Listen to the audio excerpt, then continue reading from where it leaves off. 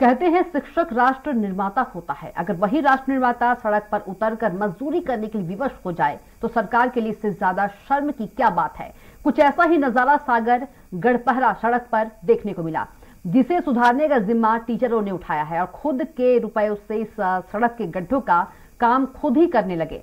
बता दें, सड़क की मरम्मत के लिए महा रेजिमेंट स्कूल प्रबंधन और ग्रामीणों ने कई बार जिला प्रशासन से लेकर प्रदेश सरकार से शिकायत की। जर्जर सड़क की शिकायत लेकर स्कूल प्रबंधन कलेक्टर के पास गया। हालाँकि कलेक्टर ने सड़क सुधारने का आश्वासन दिया, लेकिन अभी तक सड़क का काम शुरू नहीं हुआ। जिसके बाद शिक्षकों ने सड़क की मरम्मत का बेड़ा उठाया।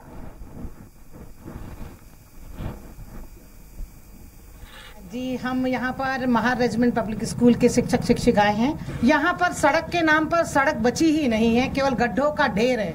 और जिसमें हमारे बच्चे इतनी जान में जोखिम लगा करके आते हैं हमने सीएम हेल्पलाइन में बाकायदा फ़ोन लगाकर अनुरोध भी किया कि आप हमारी सहायता करिए।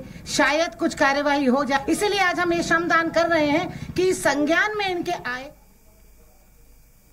स्कूल प्रबंधन की तरफ़ से एक सौ तिरासी शिकायत की थी रोड को लेके जी, जी। आपको क्या रिप्लाई मिला उसमें? सर रिप्लाई मिला है कि सर सिक्स लेन रोड बना दिया गया है सर। कब बन गया?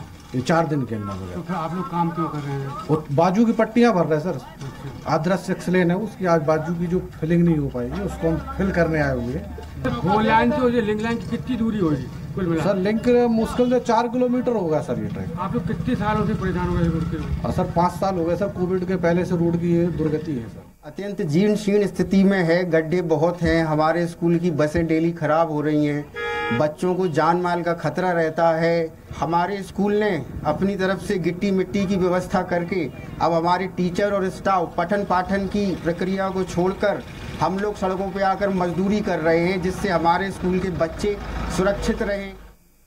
मैं 40 साल से इन्हीं सड़कों पर लगातार विधायकी के तौर पर मैं चल रहा हूँ। भोपाल की सड़क की क्या हालत थी?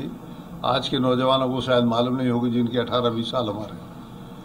आठ घंटे जाते थे तो चार घंटे आराम करना पड़ता था भोपाल।